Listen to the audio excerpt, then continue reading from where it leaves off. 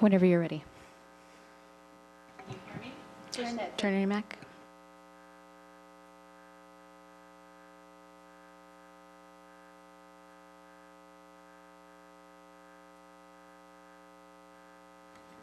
Now? Now it's really on. Thank you. I want to thank you very much to the League of Women Voters for having this forum. I want to thank the audience for being such a, uh, having so many people come out tonight interested in this important race. Very pleased to see so many of you tonight. Um, and to those folks who couldn't come tonight because of, of it's Rosh Hashanah, I apologize for that. Uh, and thank you all for being here. I'm also very pleased that my opponent is here tonight.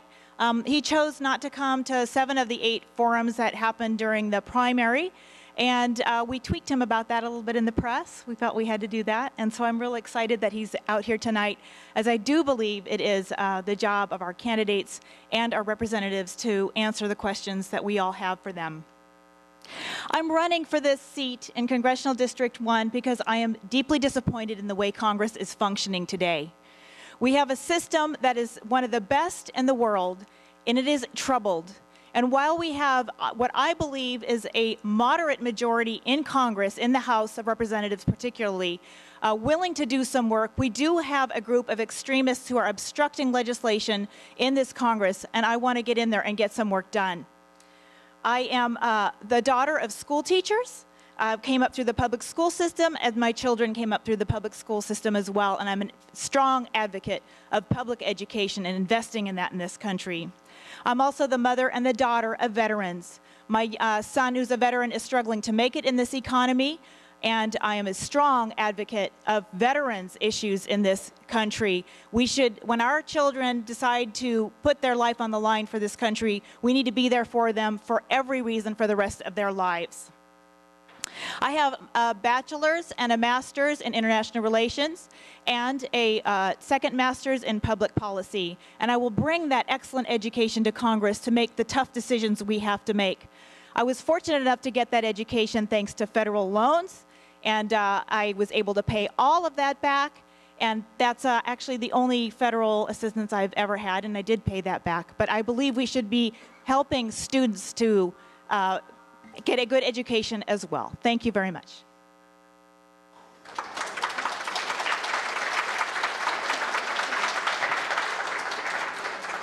If we could please hold our applause until both candidates are done with the forum tonight, that would be wonderful. Thank you. Okay, thank you.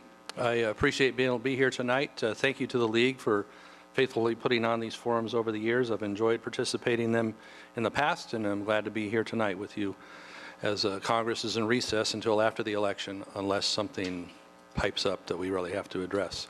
So, you know me. I'm from the neighborhood. Um, our family's been here in Butte County for many, many years, and I really have been honored and enjoyed representing the North State, my capacities over, over the years. And so, it's first term in the U.S. House of Representatives. It's been an amazing experience for me, for my family, but also I think we're on the path to a better way for America here. Uh, we're, we've been pretty productive this last year and a half in the sense that we need to go in the direction of jobs, strengthening our economy, and putting America back on top first because America is a shining light to all the world of what we can do when we have the freedom, we have the opportunity to shine as individuals. And so that's what I'm trying to instill in Congress. It's been uh, a tough row. We have uh, strong disagreements on issues, but we have a lot of times we work together on a bipartisan and a bicameral basis in the House, too. That doesn't always get noticed uh, by the folks or doesn't always come out in the media. We can get things done when we work together and we have common goals. And so for the North State, it's getting our economy going again. It's getting people back to having opportunity for paying jobs that come from the private sector especially. Now, we're seeing California in the middle of drought. We're seeing our forests go up in smoke. I sit on the Natural Resources Committee to try and do something about that. And we're going to have success if we pull together and use the types of facts, the type of science, the types of common sense that's going to make those things work better for the people in our state, for the West, for all of our country. So I'm eager to get started once again, and uh, I appreciate, again, you all taking your time to be part of the civic process and being here tonight. So with that, thank you. I look forward to your questions tonight. Thank you. And we will start the questions off uh, with Mr. Gascoigne from the Chico News and Review, uh, directed at Ms. Hall. Okay. um,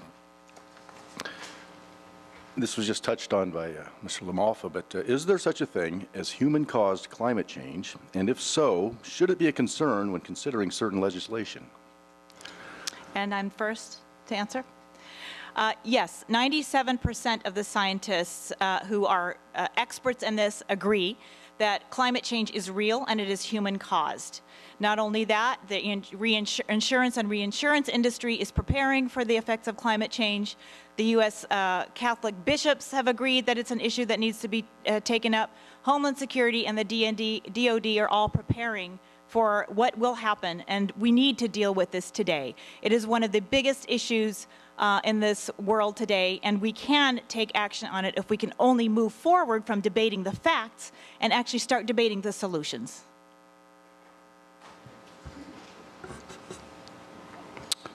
Well, the, the climate of the globe has been changing since God created it. It goes up and down with temperature, with uh, different conditions. Thank you. And so, what is mankind's role in that? Well, I'll tell you, America is always on the leading edge of the technology to do things better. We have, we're running the cleanest cars, the cleanest trucks that we ever have. We're finding new ways to do energy more efficiently, more uh, cheaply, which makes America first in the global economy. If we make America stronger in the global economy, do we want instead to have the jobs here, to have things happen in this country, or do we want to export them to countries that do things dirtier than we do? So allowing the technology to develop, we can do better environmentally all the time if we're thriving, if we're doing well. And so that's why I battle in Washington to make sure energy is being done and explored for and found in this country so that we're not getting it from our enemies or that the other countries are doing all the production in a dirty fashion and our jobs are exported. Thank you. Uh, Next question will come from Mr. Elworth, and Mr. LaMalfa will be the first to answer. This is sort of a follow-up question in- in a way. Um, One of the issues that's been important in Butte County is the question of hydraulic fracking, fracturing. Where do you two come down on that issue? Uh, Are you speaking, sir, of the measures on the ballot or in general in hydraulic fracturing? Can't make my stupid light go on. Uh, I am doing, I'm talking about the issue of hydraulic fracturing in the broadest possible sense. Okay, thank you.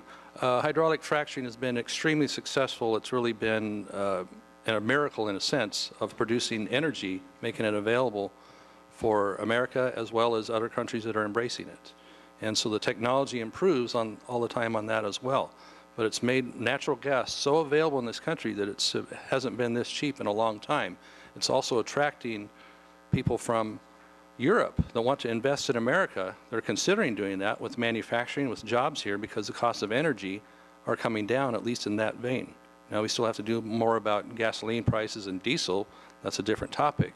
But hydraulic fracturing, done properly, has really been an amazing achievement for stable energy that comes from the U.S. at stable prices. So I support it, and I also support that we have strong protocols to make sure it's being done right. For those of the those of you who don't know, hydraulic fracturing or fracking is uh, the the practice of injecting hundreds of thousands of gallons of water deep into the earth to crack the shale and get the remnant oil out of from underground. Uh, we use water that we don't have to spare right now to do that. It involves multitudes of chemicals uh, that are injected in the ground and are seeping into the aquifers.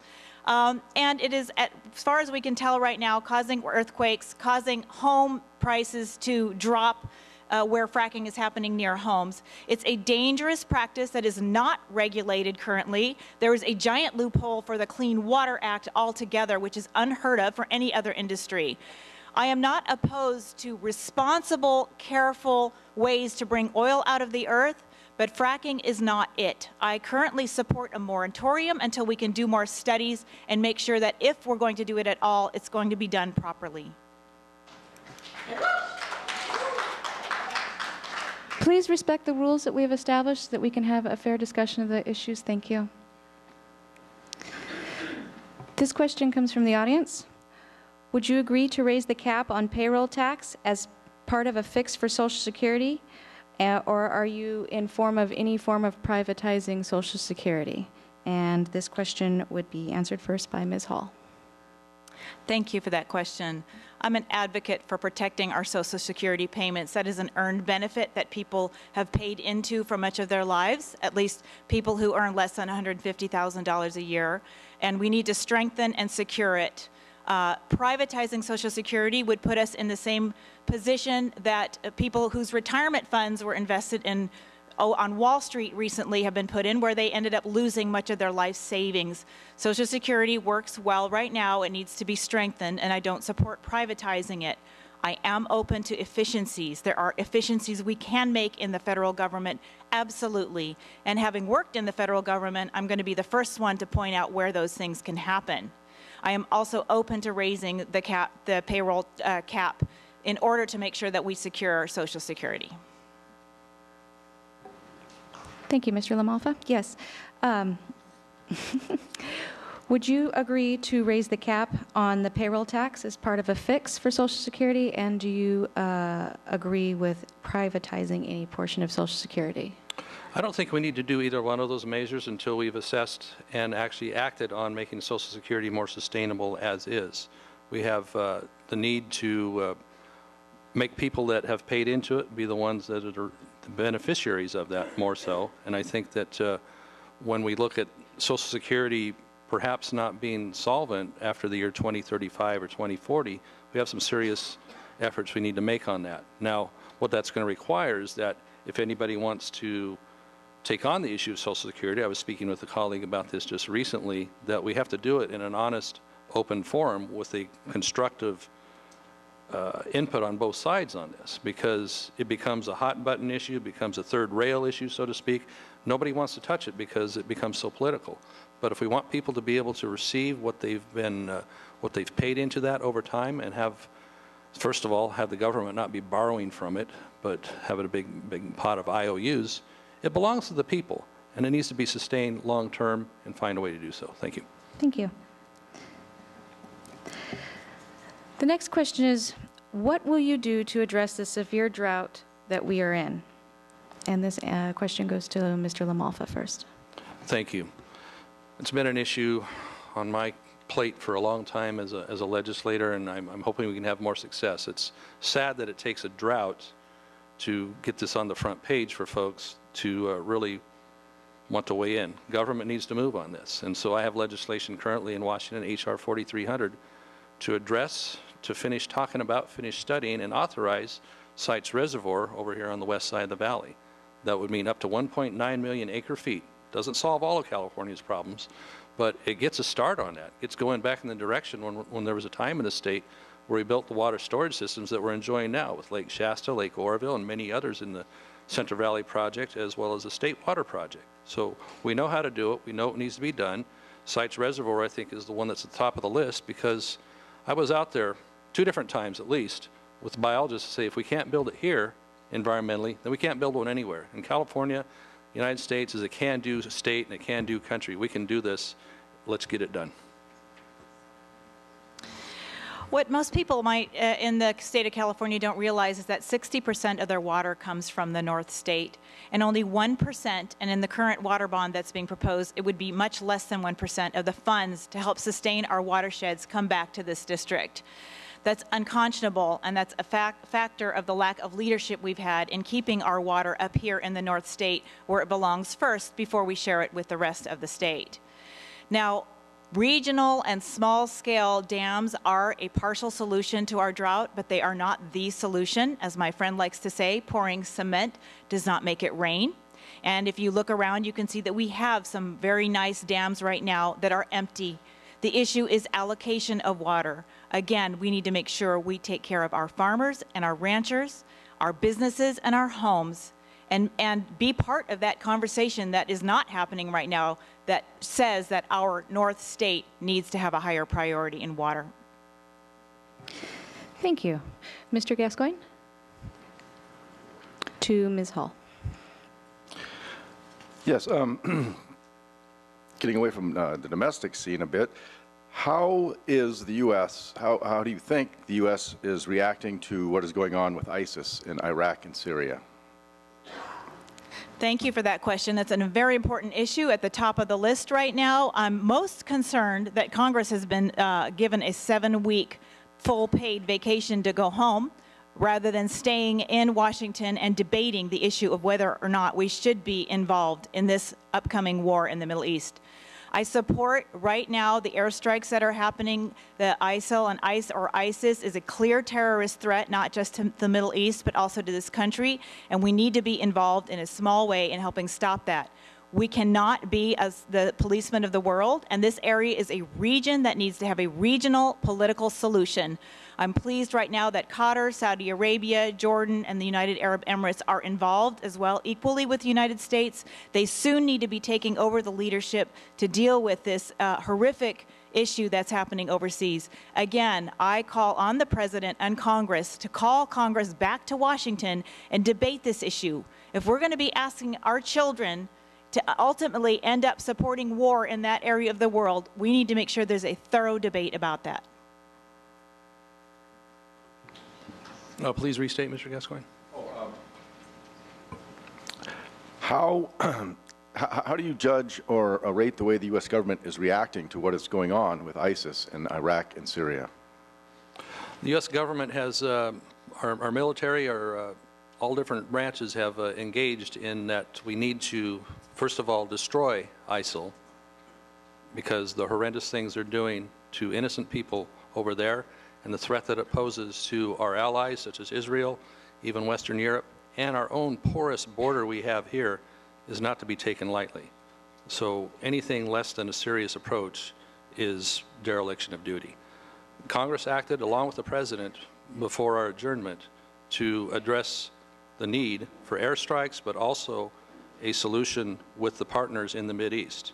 And those partnerships are tenuous sometimes, but this is the coalition that we have to put together. So what we have is a product here where the executive branch will be working to develop those relationships to have a strong, uni unified force with people in the Arab world as well as the United States help. So our, our Air Force will be part of that. Uh, the Arab world will be putting forth their troops for training as well as funding to fund the effort there. So I think with what we put Thank you- together. thank you, Mr. LaMalfa. Thank you very much. Mr. Elworth?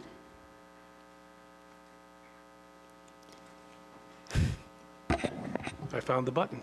Um, One of the things that is a big issue, again, in Butte County, uh, has been uh, access to and availability to go into and use the national forest lands, both for recreational purposes and for logging and for other activities within the forests.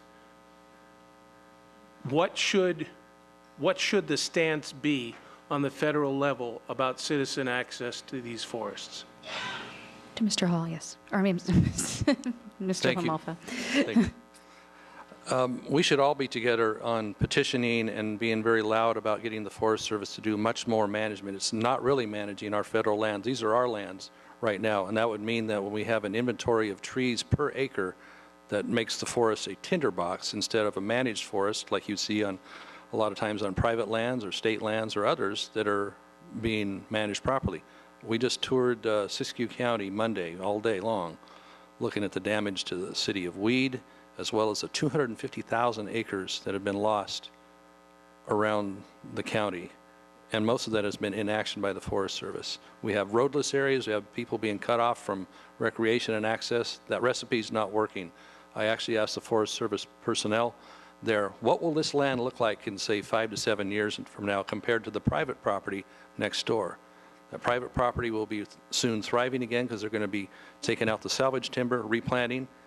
They admitted to me the Forest Service land will have a bunch of gray dead trees and brush growing in it, which is the next tinderbox. Thank you. Ms. Hall?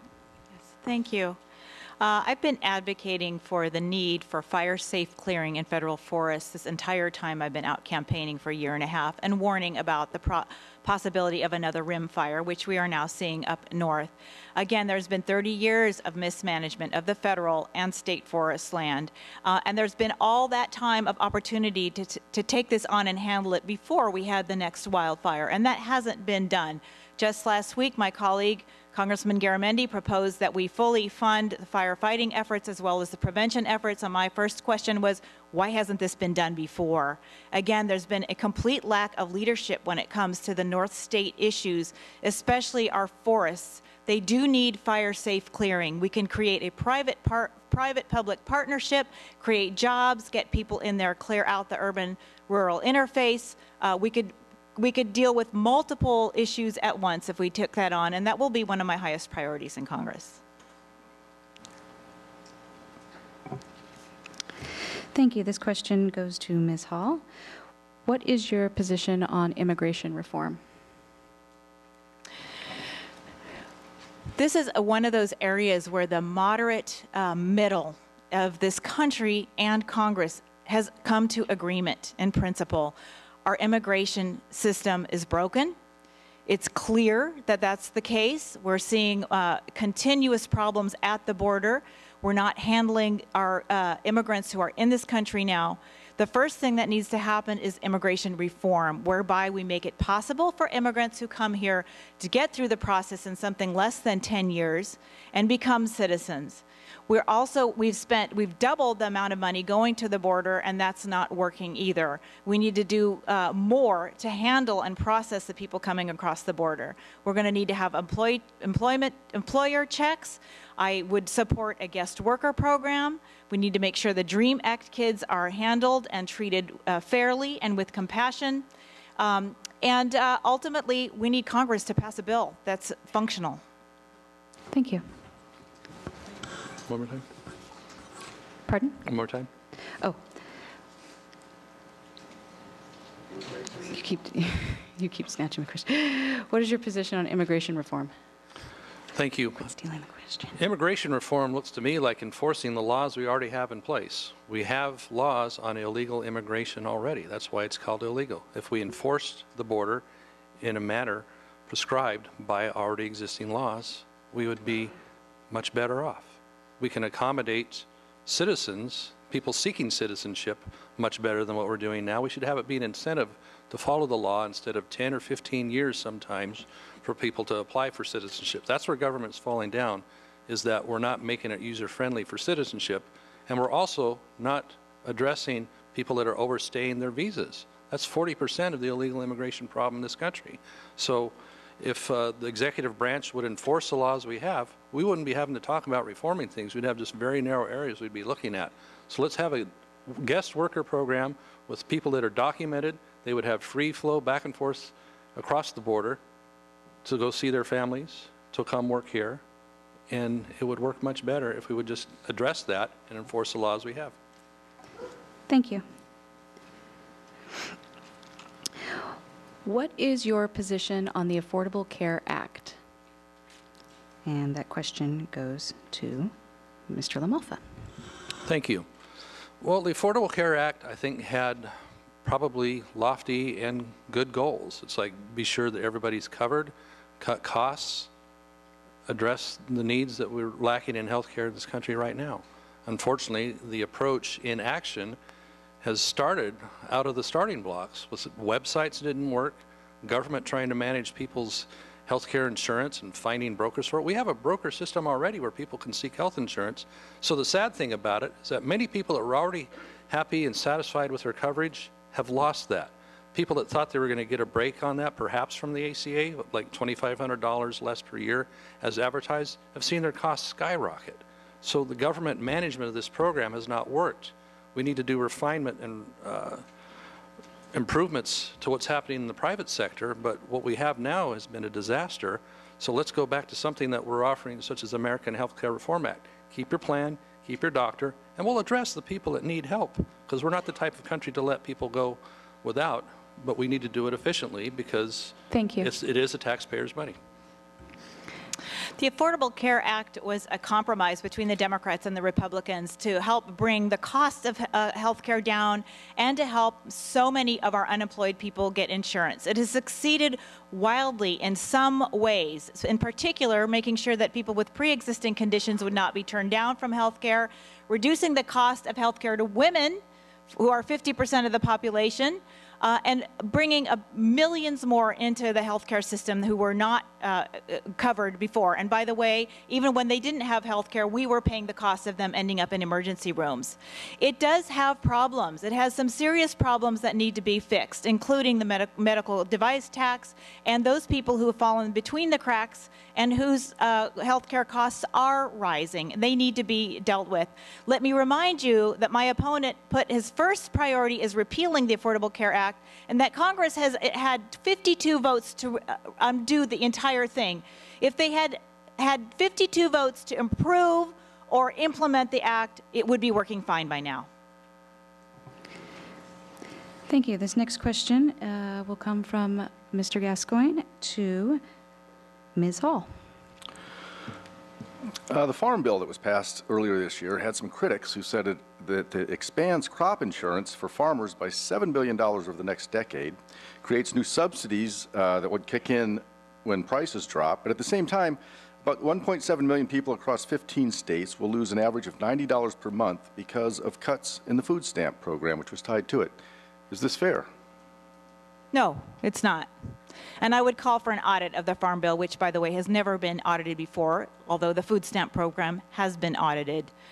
It's unconscionable to me as a fiscal moderate that we're spending $14 billion a year to prop up millionaire farmers and telling people on food stamps that we can no longer to give them $4 a day to help them feed themselves, particularly women and children who fall below the poverty line, but we're going to have to give them $3 because we can't afford to give them that extra dollar. But we can continue to, uh, to prop up farmers uh, in perpetuity at the cost of $14 billion a year. Uh, again, I would call for an audit of the program. 12% of this district is living at or under the poverty line. We should be supporting them with food stamps, and we should be uh, making sure that where and when we give farm subsidies, they make good fiscal sense. Thank you. Mr. LaMalfa? My first opportunity to vote on a farm bill this session was one to eliminate the direct payment program in agriculture, and we've done that. We've moved instead where farmers have skin in the game by paying into an insurance program.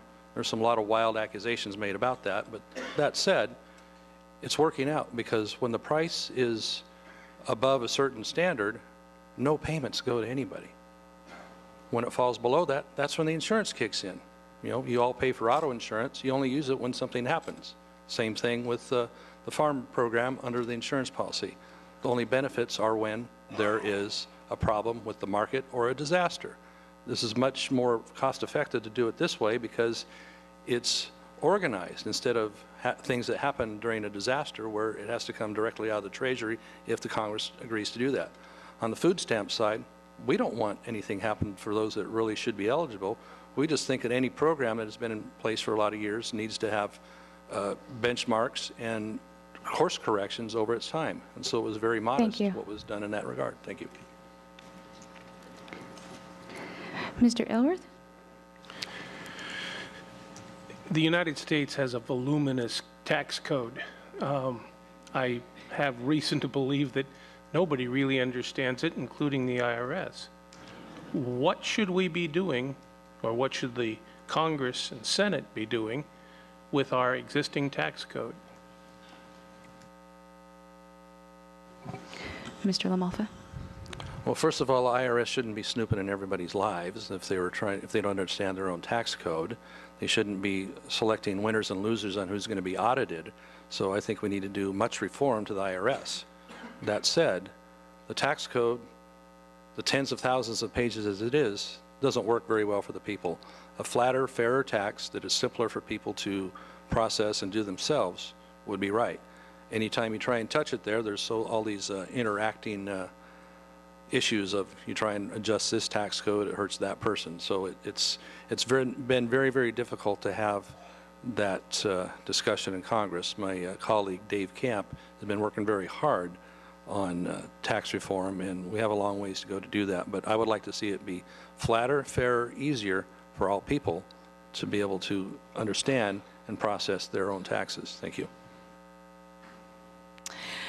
This is one of those issues that I believe, again, the moderate majority in Congress and in the United States agrees. The tax code is a mess. It's complicated, it's hard to follow, and it doesn't help any of us. It needs to be streamlined and simplified. In particular, small businesses are have an onerous uh, amount of paperwork to do, and all of that can be made much more efficient. Uh, I just want to suggest that a flat tax is regressive. It would uh, fall harder on poorer people than it would on wealthier. And I'm a strong believer that people should be paying their fair share, and that includes the top 1% of this country. Thank you. What specifically will you do or implement to aid our veterans when they come home in regards to housing, jobs, health care, and benefits? And this question goes to Ms. Hall first. Thank you. Um, veterans issues are close to my heart, again, as a daughter and a mother of a veteran. Um, I, and I've seen the devastation that veterans have, have experienced here with uh, problems in our system. I've already uh, identified that I would dedicate one staff entirely to veterans issues in this district because we have such a high veteran population. I want to make sure there are incentives for businesses to hire veterans. That's something we can do right away that would be helpful to them. We can institute training programs to make sure they are coming back with the skills that can be used in our small businesses. Um, and I would not vote for the current budget sitting in Congress, the Ryan budget, which not only cuts senior services services and student loan issues, but it also cuts veterans. I would advocate for a budget that is fully funded for veterans issues. Thank you. Having been a federal legislator for almost two years now, that's, that issue has really hit home for us on how important it is. We've always uh, had a great love and value for our veterans. They're among our best in this nation.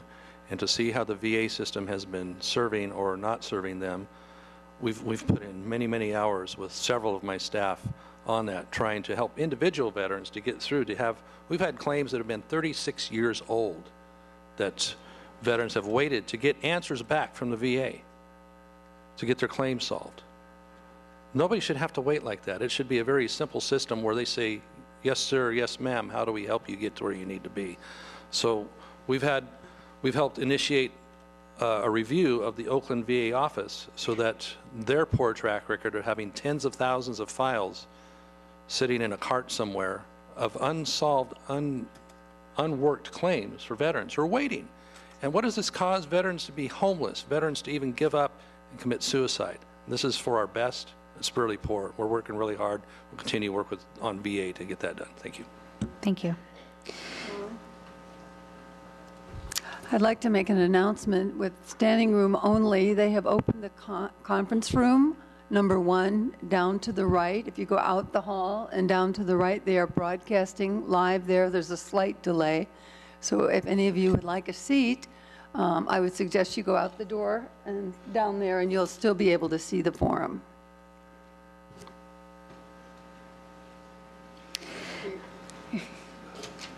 Here's the forum. All right, this is our last question from the audience tonight. And the question is, do you agree with Citizens United decision from the Supreme Court? And should Congress pass any legislation to address the decision? And the uh, question goes to Mr. LaMalfa to start. I think the court in its wisdom made the proper uh, ruling on that, in that uh, everybody should have their First Amendment right to express themselves in elections, in uh, the public square of who they support.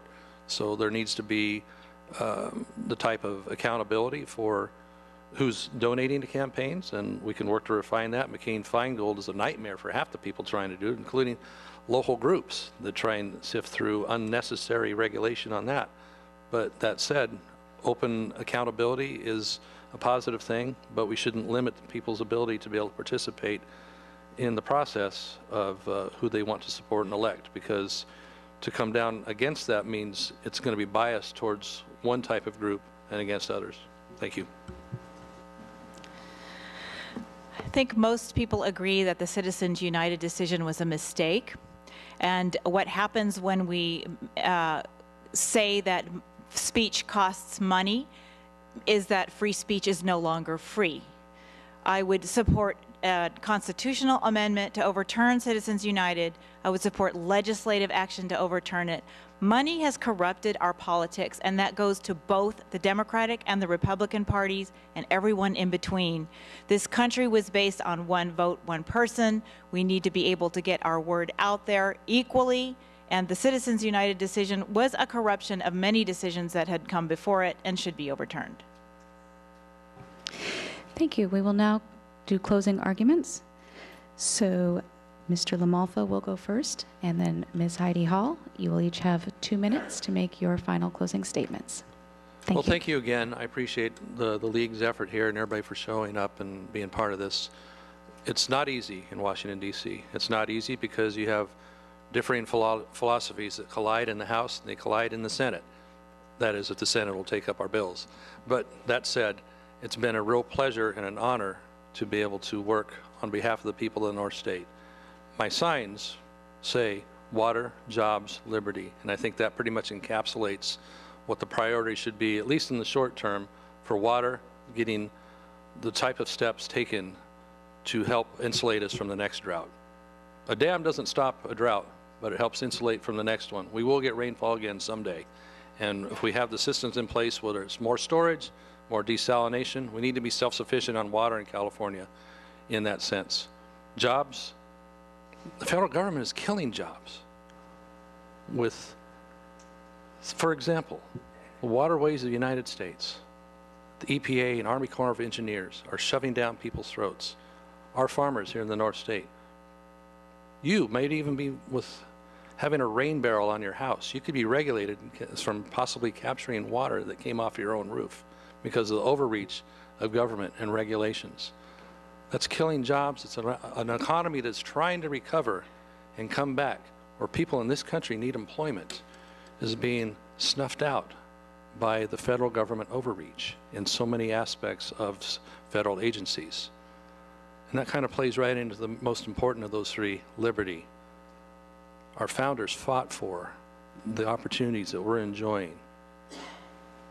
And if we don't embrace that, we're not going to have a country soon. Our liberty is what allows us to innovate, to be the leader in the world, to bring freedom and hope to the rest of the world. If that liberty is snuffed out, then we don't look like the United States anymore. Thank you, everyone. I appreciate it. I would appreciate your vote. God bless you.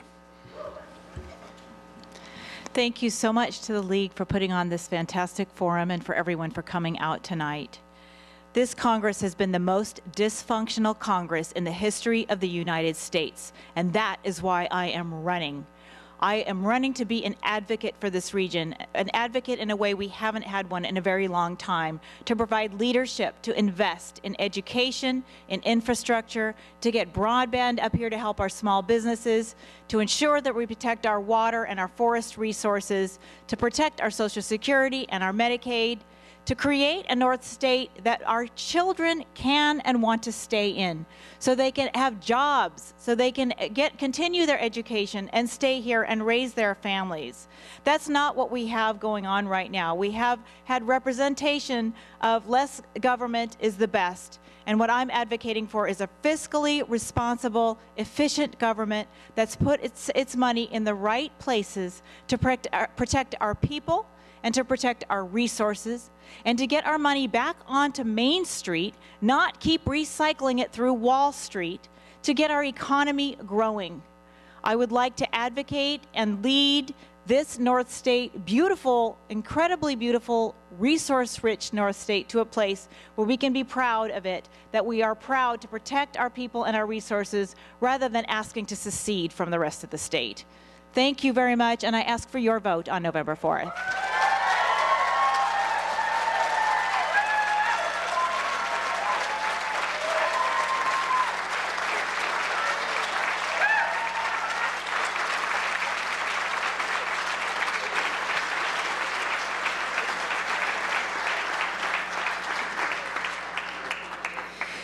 Thank you. We will take a brief moment to uh, get ready to hear uh, candidate statements for the CUSD School District School Board.